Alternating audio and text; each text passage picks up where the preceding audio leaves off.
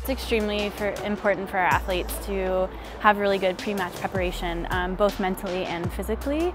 Their, their match is their performance. That's, that's what they train for in and out every day. If they are prepared well, then they can go on court and be confident in what they're about to do.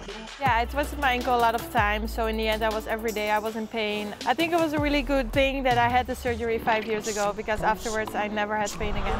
Of course I still tape it uh, just to be sure, but uh, WTA physios, they are all taping the same, so for me that's really great. Uh, the only thing we have to use the benzoin because my skin is really allergic to tape, so that's a little bit annoying. So we don't get an allergic reaction from Kiki. The smell is, is not so good. it's uh, quite... Some people really like the smell, but...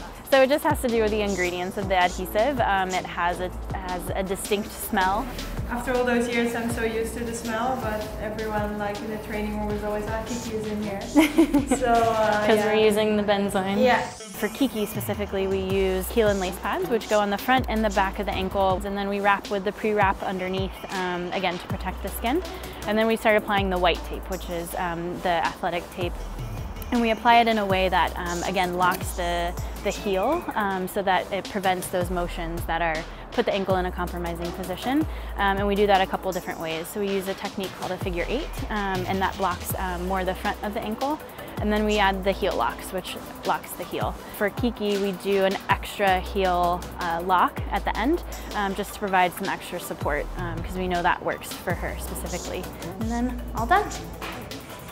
Perfect at least we have this stuff so it's been working really well. And um, it's just always like yeah it's my match preparation. So we just have a talk with the physios and then yeah they're done in like two three maybe five minutes. So uh, yeah it's always just a little bit of relaxing time before the match. We go through all the same training as far as um, our taping techniques go so that when uh, the athletes are at different tournaments that they know that they will get consistent uh, taping techniques, uh, either preventative, protective, whatever it may be. Is Wozniacki announced receiving a medical timeout. Yeah, they do it so quick, they're so used to do it. They also have to do it on court, sometimes they do it in three minutes, so they really are trained in that. We have to be able to do it in under three minutes, because that's what we have on a medical timeout, that's all we have on court. But I, I try to take my time um, and make sure that it's comfortable for the athlete. I can just move really freely without any pain, without any restrictions, so it's just feeling great for me. So yeah, they're doing a great job. All right, have a good match.